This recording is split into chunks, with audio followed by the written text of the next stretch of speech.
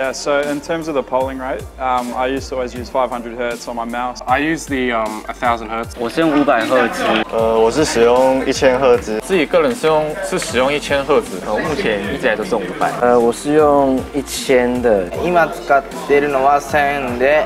使ってるレポートレートは1000ヘルツでผมใช้1,000ครับผมใช้1,000เฮิร์ตเพราะว่าผมใช้ polling rate 500ครับ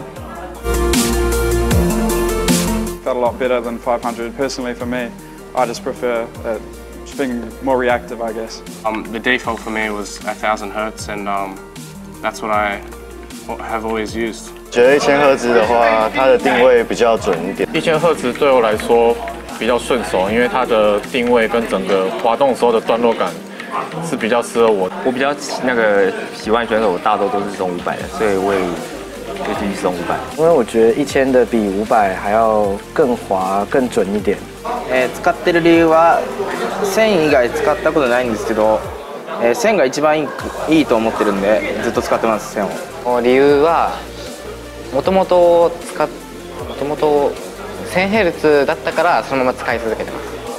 我觉得一千赫兹感觉比较更快一点。我感觉一千赫兹的话比较定位比较准，然后比较平滑。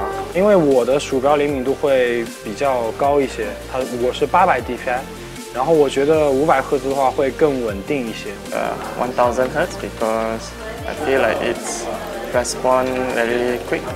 You don't feel any delay.